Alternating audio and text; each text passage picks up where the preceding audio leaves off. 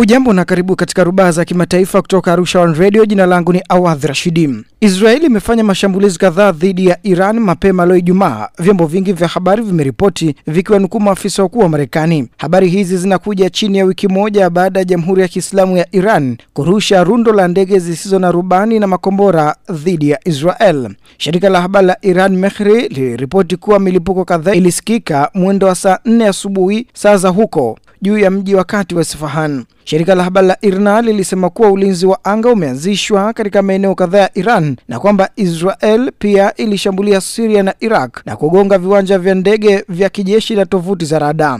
Hussein Dalrian, msemaji wa mpango wa anga za juu wa Iran, aliandika kwenye ukurasa wa X ambao zamani ulifahamika kama Twitter kwamba ndege kadhaa zisizo na rubani zilidunguliwa, lakini hakuna uthibitisho wa shambulio la kombora dhidi ya Isfahan. Televisheni ya Irani baadaye ilisema kwamba ndege tatu zisizo na rubani ziliharibiwa katika jiji hilo. Kwa mujibu wa televisheni ya Al Jazeera, Iran imesitisha safari za ndege katika viwanja kadhaa vikiwemo vya Tehran na Isfahan. Shirika la habari la CNN lilimnukuu afisa mmoja wa Marekani baadaye ambaye hakutaka kutajwa jina akisema kuwa maeneo ya nyuklia ya Iran hayakulengwa. Jeshi la Israeli liliambia shirika la habari la AFP kwamba hatuna maoni kwa wakati huu lilipoulizwa kuhusu ripoti za mashambulizi nchini Iran na Siria. Ofisi ya waziri mkuu wa Israel Benjamin Netanyahu ilikataa kuthibitishia gazeti la Times of Israel kwamba Israel ilihusika na milipuko iliyosikika huko Isfahan. Mnamo tarehe mosi Aprili, Israeli ilishambulia jengo la ubalozi mdogo wa Iran mjini Damascus na kuwaua maafisa saba waandamizi wa kikosi cha walinzi wa mapinduzi ya Kiislamu ya Iran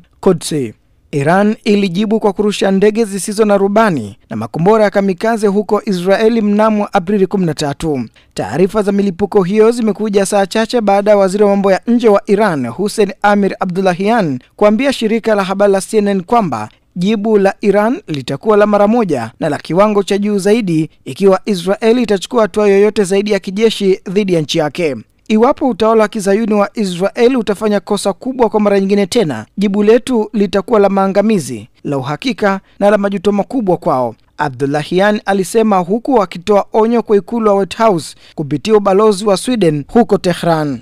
Shirika la habari la Iran la Farsi limesema milipuko ilisikika karibu na kambi ya jeshi na mifumo ya ulinzi wa anga iliwashwa. Kituo cha habari cha serikali kilimnukuu jenerali mmoja kutoka Isfahan akisema milipuko iliyosikika katika eneo hilo ilitokana na ulinzi wa anga kufyatua vitu vya kutiliwa shaka na kusema hakukuwa na uharibifu wowote. Shirika la habari la Iran la Tasnim lilichapisha video ya kituo cha nyuklia huko Isfahan ambacho hakikuonyesha dalili zozote kuwa kimepigwa. Shirika la kimataifa la nishati ya atomiki limethibitisha kuwa hakuna uharibifu wowote katika maeneo ya nyuklia ya Iran. Msemaji wa kituo cha kitaifa cha mtandao wa Iran, Hussein Darian, alisema hakuna shambulio la anga kutoka nje ya mipaka. Alisema Israel ilifanya tu jaribio lisilofanikiwa na la kufedhehesha la kurusha ndege zilizokuwa na rubani, lakini pia zimedunguliwa. Iran iliweka marufuku kwa safari za ndege za kibiashara saa chache baada ya shambulio, lakini sasa limeondolewa. Mkoa wa Isfahan ni eneo kubwa katikati mwa Iran ambalo